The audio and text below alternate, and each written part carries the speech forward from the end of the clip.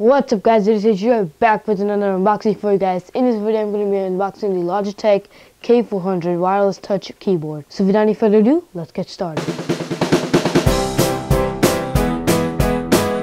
Alright, so what this basically is, is a wireless keyboard with a built-in touchpad.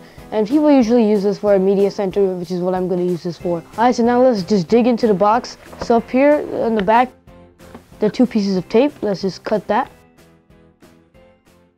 Outside, now I've got the tape cut. Let's open this baby up. There it is. The first thing you see is a keyboard right here. It's actually bigger than I thought it was. Just pull that out and put this to the side.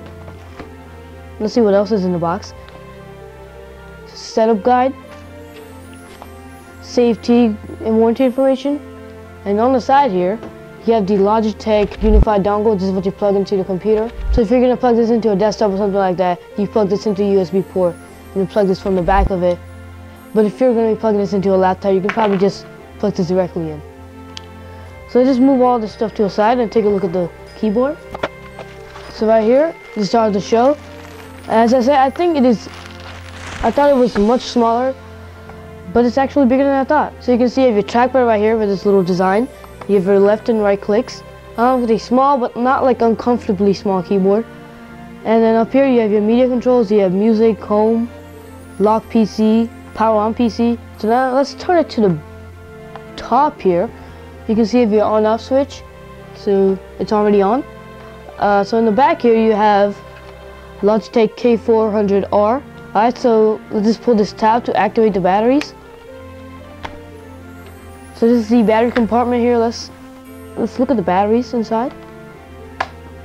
Alright, so it takes two double A's right here. And also it has a little spot so where you can put your unified adapter. You have a little spot right there. Actually I just found something that's not where you put the adapter, you actually put the adapter in the cover right there, just like that. And just snap it back on. Alright guys, so that's been it of my unboxing of the Logitech K400 or the K400R. So if you want a review of this, be sure to give this video a big thumbs up, as it also does help the channel a bunch. If you have any questions, or if I left something out, tell me down in the comment section. If you want more content like this, be sure to subscribe, and happy holidays, peace out.